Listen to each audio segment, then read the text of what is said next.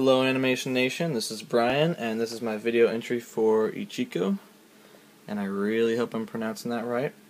And um, I went for the nerdy look, a little awkward, and uh, he's got the hoodie on with the striped shirt underneath, and he's got a little wristwatch, um, gave a little butt chin, and um, he's got the bushy hair.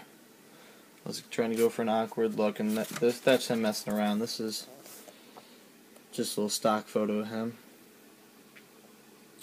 Just a truly awkward person. And that is my video entry for Ichiko. Click the thumbs up button!